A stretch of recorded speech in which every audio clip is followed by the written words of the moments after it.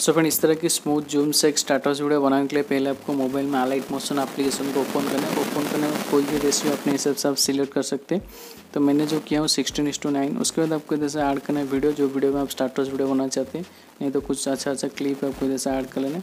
अगर आप कोई वीडियो ऐड करना चाहते हैं तो वीडियो का ऐड करने बाद उसका जो भी अच्छा अच्छा पार्ट है, उसको आपको इस तरह छोटा छोटा क्लिप में आपको इस तरह की डिवाइड कर लेना उसके बाद जो भी वीडियो है, उसका साउंड को ऑफ़ कर लेना बाद में आप M P three song add कर सकते हैं।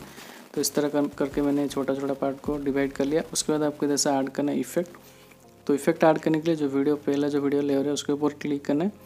इफ़ेक्ट में जाना है ऐड इफ़ेक्ट में जाना है जैसे आपको सोर्स करना है ऑक्सीलेट वाला इफ़ेक्ट तो सिलेक्ट करके स्टैंडर्ड सेटिंग्स के ऊपर क्लिक करना है। इस तरह को ओपन हो जाएगा। तो पहले आपको क्या करना है जैसे एंगल को परफेक्टली ज़ीरो डिग्री जैसे सेट कर लेना है। ज़ीरो करने के बाद आपको जैसे फ्रीक्वेंसी दिखाई दे रहा है। फ्रीक्वेंसी के जैसे आपको क्या करना है ज़ीरो पॉइंट सेवेंटी आपको सेट कर लेना है। उसके बाद आपको नीचे दिखाई दे रहा है मैग्नीट्यूड। तो उसके ऊपर क्लिक करना, उसका जो मैग्नीट्यूड का जो ऑपोसिटी है, आपको जैसे फोर फिफ्टी आपको जैसे सेट कर लेना है, जो कि मैच करेगा। उसके बाद लास्ट में फेस दिखाई दे रहा है तो फेस को जैसे क्या करना वन पॉइंट डबल ज़ीरो आपको रख लेना है। उसके बाद आपको क्लोज करना है।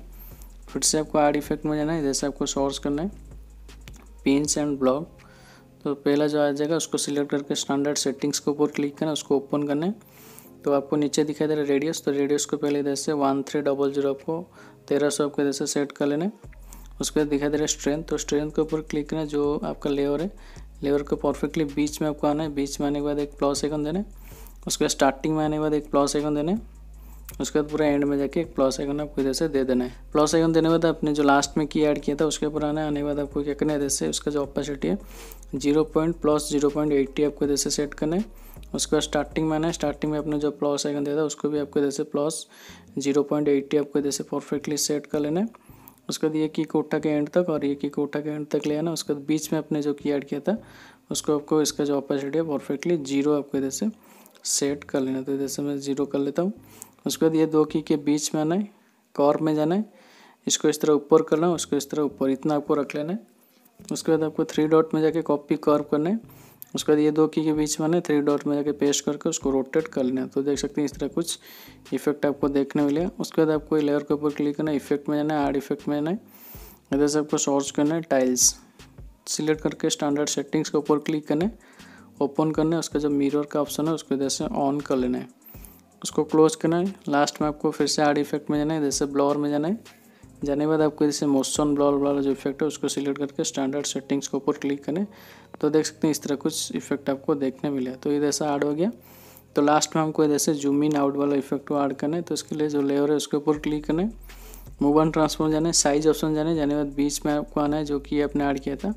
एक प्लस आइकन देना है, उसके बाद स्टार्टिंग में जाके एक प्लस आइकन उसके बाद पूरा एंड में जाके इधर से एक प्लस आइकन देना है। तो एंड में आपने जो प्लस आइकन दिया था, उसका जो ऑपोजिट है, इधर से थोड़ा आपको वीडियो को जूम कर लेना, जो कि इधर से फाइव थाउज़ेंड के आसपास आपको रख लेना है। ये की कोटा के एंड तक ले आना है, उसके बाद स्टार्टिंग में आना है। स्टार्टिंग में आपने जो प्लस आइकन दिया था सेम उसको आपको फाइव थाउज़ेंड के आसपास उसका जो पी एक्स है, उसको इधर से सेट कर लेना है। करने के बाद ये की को उठा के एंड तक ले आना है, उसके बाद ये दो की के बीच में आना है कॉर में जाना है थ्री डॉट में जाके पेस्ट करना है। उसके बाद ये दो की के बीच में ना थ्री डॉट में जाके पेस्ट करके उसको रोटेट करना है। तो फाइनल देख सकते हैं, जैसे हमारा जो भी इफ़ेक्ट है, जैसे कॉम्प्लीट होगा तो वीडियो जब एक्सपोर्ट होगा तो पूरा इधर से स्मूथ दिखाई देगा।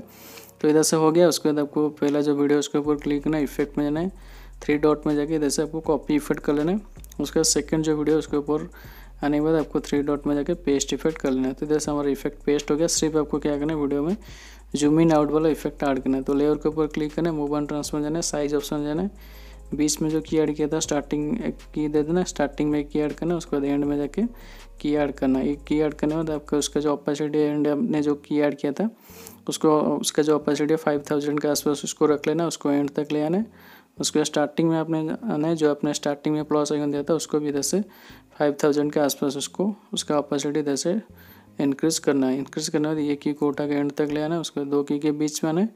कॉर में जाना है थ्री डॉट में जाके पेस्ट करना है, ये दो की के बीच में ना थ्री डॉट में जाके पेस्ट करके उसको रोटेट करना है। तो इसी प्रोसेस को फॉलो करके सिर्फ़ नेक्स्ट वीडियो में जाना है पेस्ट करना है। इफ़ेक्ट हो, उसके बाद आपको जूम इन वाला जो इफ़ेक्ट है, उसको ऐड कर लेना। बीच में जो आपने उसको नॉर्मल लेने देना है स्टार्टिंग में फाइव थाउज़ेंड लास्ट में फाइव थाउज़ेंड पी एक्स कर लेना है, उसके बाद क्रॉर ऐड कर लेना है।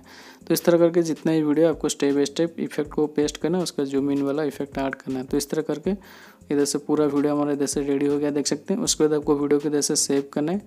उसको चाहेंगे तो इधर से M P three song add कर सकते हैं। तो ऑडियो में जाके इधर से जो भी आपका सॉन्ग है, उसको ऐड कर सकते हैं। तो इधर से फाइनली वीडियो रेडी हो गया। तो सेव करने के लिए शेयर ऑप्शन जाने वीडियो को इधर से फुल एच में क्वालिटी फुल रखे, इधर से एक्सपोर्ट कर लेना है।